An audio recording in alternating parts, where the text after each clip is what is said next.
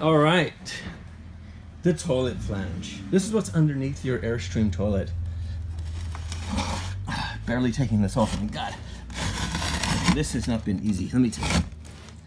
I'm flipping this. My God. Whoa. Wonders never cease, ladies and gentlemen. Doing this with my left hand. I'm holding the camera with my right.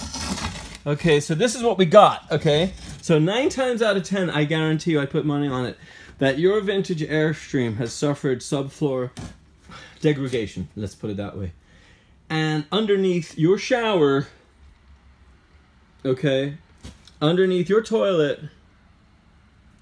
the perimeter of your Airstream has compromised subflooring. Is just the way it's designed. It cannot be the other. It cannot be any other way, unless you're maintaining your roof every freaking year, and uh, preventing. You know, all it takes is one, right?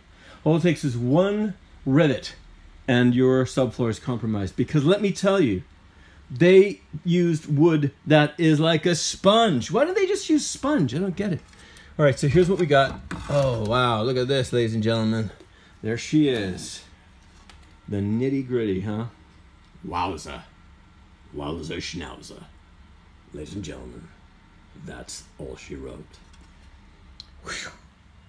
Woohoo! So this little baby's gonna get. I'm gonna re- remove it, go through it, make sure she is tits.